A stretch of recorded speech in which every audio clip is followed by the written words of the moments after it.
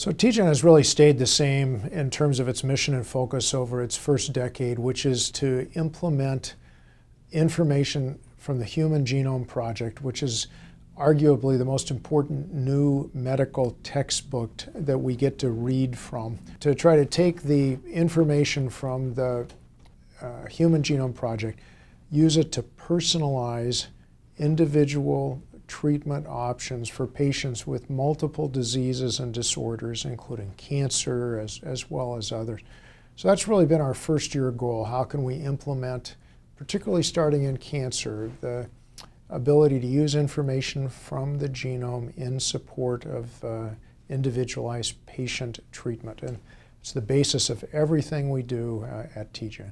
There's no question that over the course of the next 100 years, we'll still be working on the information from the genome, how to make medicine more personal, which is really that right medicine for the right disease and the right patient at the right time, at the right dose, all of those things that you want to do right, but today we we do a lot of a lot more guessing in the medical area than we would like.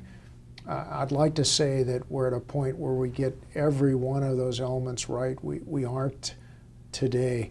But what's so exciting is we have the opportunity now uh, to get so many of them right, uh, including some that 10 years ago we could have never done that individualization component, really not treating individuals as one size fits all based on their disease, but to to break them apart, to understand that genetic information and take advantage of that.